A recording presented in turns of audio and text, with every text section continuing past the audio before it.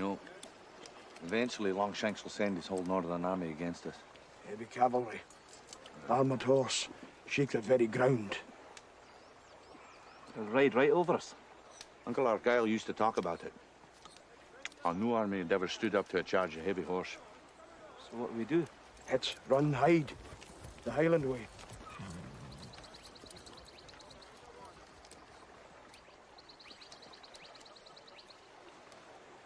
We'll make spears. Hundreds of them. Long spears, twice as long as a man. That long? Some men are longer than others. Your mother been telling you stories about me again, eh?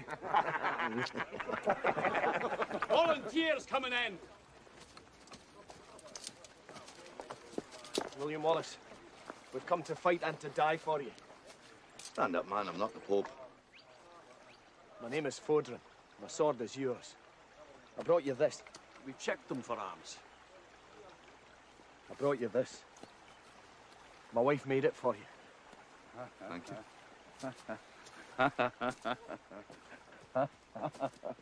Him, that can't be William Wallace. I'm prettier than this man. All right, father. I'll ask him. If I risk my neck for you, will I get a chance to kill Englishmen? Is your father a ghost? Or do you converse with the Almighty? In order to find his equal, an Irishman is forced to talk to God. Yes, father. The Almighty says, don't change the subject, just answer the fucking question. Mind your tongue. Insane Irish. Smart enough to get a dagger past your guards, old man. That's my friend, Irishman. And the answer to your question is yes. You fight for me, you get to kill the English. Excellent! Stephen is my name. I'm the most wanted man on my island. Except I'm not on my island, of course. More's the pity. Your island? You mean Ireland? Yeah, it's mine. You're a madman.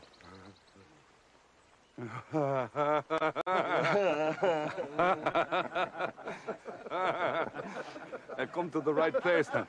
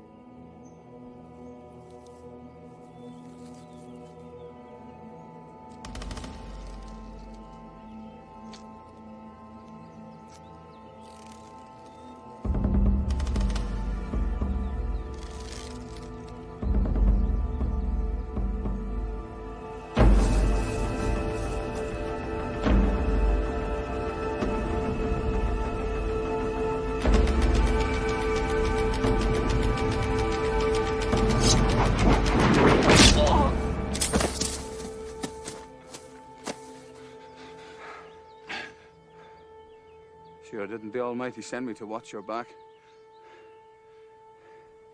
I didn't like him anyway. He wasn't right in the head.